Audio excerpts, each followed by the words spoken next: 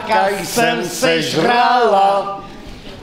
21. ročník divadelní přehlídky Semelský paroháč je minulostí. Dovolte nám tedy krátké ohlédnutí za přehlídkou, která na sklonku minulého roku ovládla kulturní podzim v Semilech. Stejně jako v předchozích ročnících se mikrofonu v roli moderátorů chopili Týna Chlupáčová a Jakub Prostočil. Zahájení divadelního tobogánu patřilo ve čtvrtek 17. října již tradičně vystoupení domácího divadelního souboru Studio Podio, který před plným hledištěm odhrál premiéru situační komedie Muž na vodítku. V hlavních rolích se opět představili mladé tváře souboru a musím uznat, že se svého úkolu zhostili na jedničku. Takže ty, ty obětuješ moje spermie tvojí kariéře? Kdybys tu práci dostal ty, tak u tebe nevypukne smysl pro rodinu. Ale já ji nedostal! Jsem loser se zákazem rozmnožování. Nejsi loser jenom protože vyděláváš desetinu platu své partnerky. Vydělávám desetinu platu své partnerky a ani nesmím otěhotnět, to je výborný. Tak ona stejně teď teďka ta možnost na otěhotnění je jenom teoreticky, že jo? Heleno! Heleno! Nemluvíme o neposplněném početí. Tohle, tohle máš! Jak odvolám? Nejdřív tě musím půlku noci stavět a ty potom tady na mě usínaný makruješ. U snídaně! Tomuhle ty říkáš snídaně? A můžu se zeptat, co by si spřál? Stačí, že financuju tvůj životní standard, ne? Teď začínáš být trošičku nevěcná, ne? Sebastiane, co tvoje partnerka musí umět? Chtěl bys snídat do postele, oběd doma místo o podnikové jídelny, kuchyni italskou, francouzskou či za mexickou? To, to, to ne, to, to začínáš být trošku nefér, ne teď? Sebíku, tohle je přece úplná ekonomická blbost. Já za sporákem a ty v bance. Teď je to úplně neefektivní. To je láska. Že? Láska, Helenko. To je ta nejkrásnější neefektivnost. Čtvrteční podvečer v kulturním centru Golf patřil převážně dospělým divákům. Naproti tomu páteční odpolední program už naplno ovládly pohádky určené pro ty nejmenší. Jako první se dětskému publiku představili členové souboru Kamarádi Semelské základní umělecké školy, kteří pro děti zahráli pohádku o jedné námořnické posádce čelící nástrahám moře.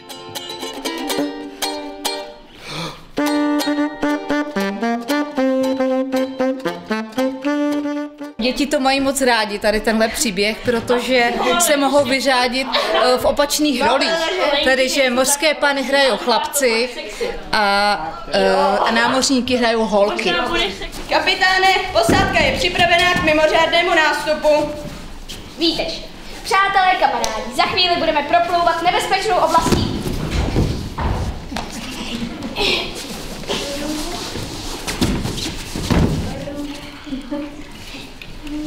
Nebezpečnou oblastí mořských panen. Víte, proč jsou mořské pany pro nás námořníky tak nebezpečné? Ano. Škrtí nás svými vlasy. Ne. Mohli by nás okrást? Také. Je vidět, že zapomínáte a já vám to budu muset znova připomenout. Mořské pany se nudí a chtějí nás, námořníky, jen prosit. Druhou pohádku do Semil přivezlo Hočkovické amatérské divadlo. V příběhu o čmeláku Brundibárovi se tentokrát společně s živými herci představili i loutky. Honem, honem, co s tím domem? Honem, honem, co s tím domem? Ještě, ještě, prameniště. Honem, honem, co s tím domem? Honem, honem, co s tím domem? Dobrý den, čmeláku Brundibáre. Brzy bude jaro. Dobrý den, pane Blunďo, brzičko bude jaro. Dobrý den, čmeláku Brundibáre. Beruš to, proč nás Blunďa nezlaví a pláče? On má strach, že se nestihne připravit, Jaro. A pst, neříkej mu, Brunďa, on to nemá rád. Páteční odpoledne nabídlo dětem kromě pohádek na lednici také každoroční výtvarnou dílničku Lenky Hřibové, která na ně čekala na prostranství před kulturním centrem Golf, ale i další divadelní hru žáků Semelské základní umělecké školy s názvem Dobré ráno, rodino. To je s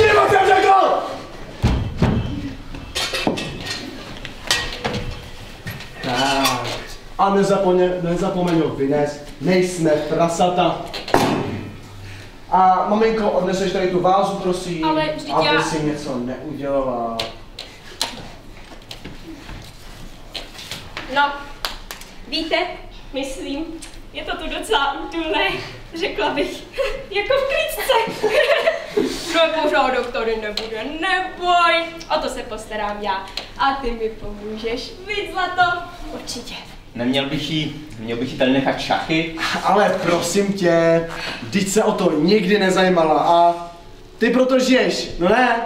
Ty seš až moc velký dobrák. No jo, vždyť to je po tobě. Ty bys po sobě taky ve všem nechal šlapat. A víte, že bych s ní hnedka měnila? Teďka už bude pořád jenom doma. Co víc si může dopřát. Co by to bylo za paroháče bez jeho největšího fanouška, laskavého režiséra, výtvarníka Zdeňka Lindnera, který před 21 lety stál u samého zrodu této divadelní přehlídky. Zdeněk Sat nikdy nechyběl, až tentokrát. Jen několik týdnů před samotnou přehlídkou přijel angažmá v hereckém nebi a tak jsme si ho připomněli alespoň malou výstavou před sálí kulturního centra. Prvním kusem večerního programu v hlavním sále kulturního centra Golf bylo představení s názvem Pokrevní bratři, které do Semil přivezla společnost bloumající veřejnosti Turnov. Nikdy si nesloužil jako druhý důstojník na zaoceánském parníku, že ne? Ani jako voják v Bosně. A už vůbec si nedělal osobního tajemníka Gro Harlem Brundtland. Ani nepatříš k motorkářskému gangu Bandidos? No, totiž ne. Ale ten bordel si vedl, že jo? No, ne, že bych ho zrovna vedl, Tak ale... dost. Moc dobře víš, že všechno o těch černoškách je přeci lež. Věděli jste, že džíny mohou být symbolem něčeho, co nás dělá svobodnějšími? Pro ty z vás, kteří už zapomněli, že právě džíny ve své době dokázaly ovlivnit životy lidí, byla určená hra kamenického Broukovcova divadla s trefným názvem Do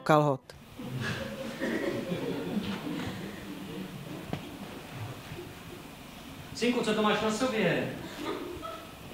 Tátovi montérky, jo, no to určitě. Ukáž? Je nepřipadej nějak zvláštní. Neškrtí ti tady pytlík, mami! Ve škole na sebe upozornili tělocvikáře, největšího komanče v ústavu a bylo o průser postaráno. Proč to nosíš? Řekl jsem mu, že džín nejsou dekadentní, že dělají člověka šťastnější. Dekadent. Páteční divadelní večer pomalu skončil, ale na ty, kteří měli ještě po desáté večer energii na rozdávání, čekala v bývalé restauraci kulturního centra heavy trashová kapela Eclipsis z Nové Paky. Já se nepřím! Vyrazím v boží mlýny! Co se bylo nejdřív?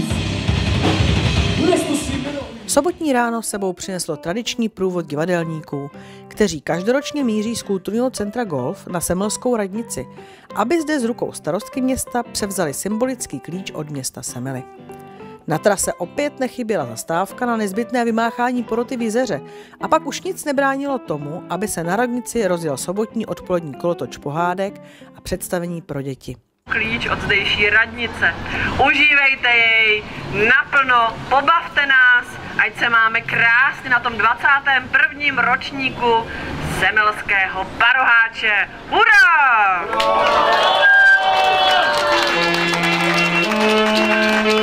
A mám!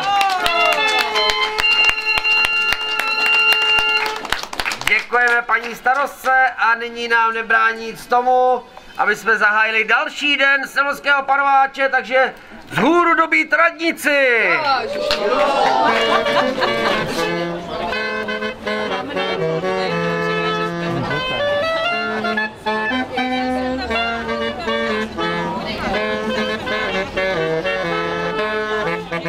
Pohádky na radnici byly nakonec hned tři. Co se děje v Mokroušově, babičky a bráška Králík a na závěr pohádka o ulítaných čertech s názvem Čert, aby to vzal. Prší! Prší! Prší. Prší! Prší! Prší, jo. jo prší! Je to prší! Zkuste, jak prší! No to konečně! Tak krásně prší! Hele, a uměli byste takhle jenom malinkatej deštík. A větší deští. A úplně největší deští. Už po 40 dní u nás na zemi prší. Ale neklesejte na mysli a nemějte strach. Pokud ho máte, pořiďte si pláštěnku, eh, deštní a také gumáky, protože v následujících 45 minutách určitě pršet nepřestane, takže i nadále bude pošmoudno a mokro. Pohádky tentokrát přivedly své diváky nejenom na radnici, ale také do kulturního centra Golf a provedli malé diváky celým sobotním odpolednem. Večerní program pak v hlavním sále Semelského kulturního centra odstartovali jazzové standardy muzikantského uskupení Aurora Jazz Band.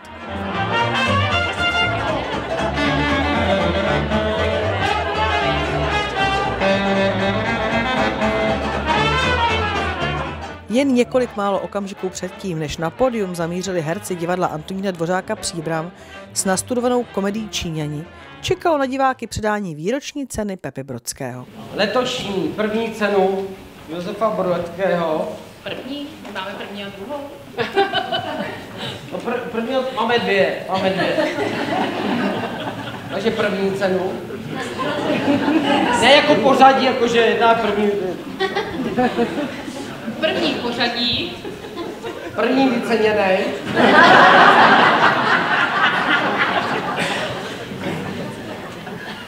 Takže je to cena za pravidelnou pohádkovou atmosféru a šťastné dětské úsměvy.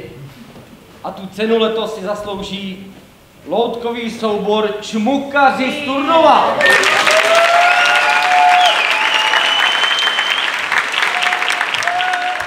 Letošní druhou cenu získává za loutkové potěšení dětí dospělých lidový loutkář Jirka Polejňa.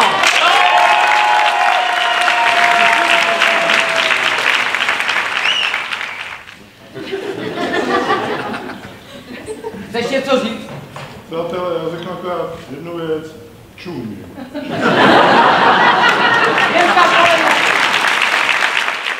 Finále sobotního večera pak patřilo již zmíněné hře Číňani a výbornému Jaromíru Noskovi.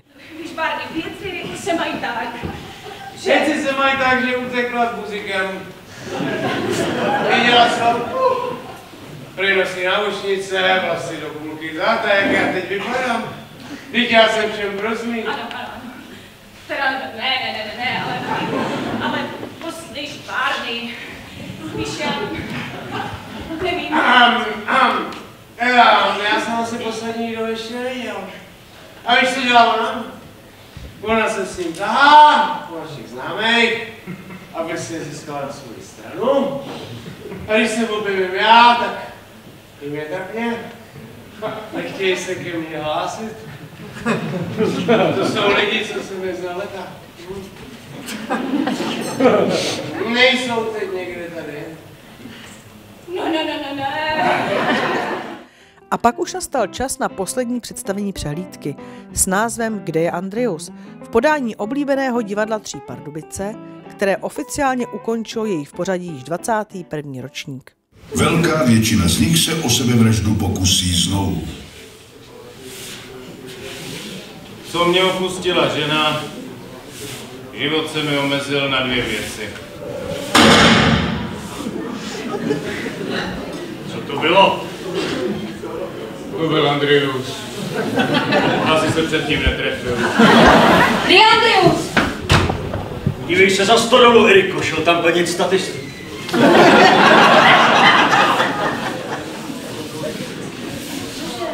Má tam nějakou práci, Eriko, hned se vrátí, řekl by. Vždyť žádnou práci nemá, včera ho vyhodili. Já ho zabiju.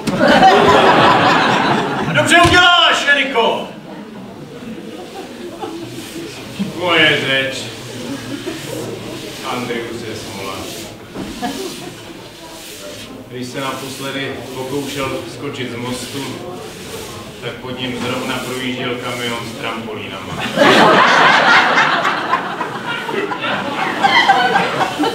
Vrátilo to zpátky na vodu. Mokrým listí a zlomil si nos.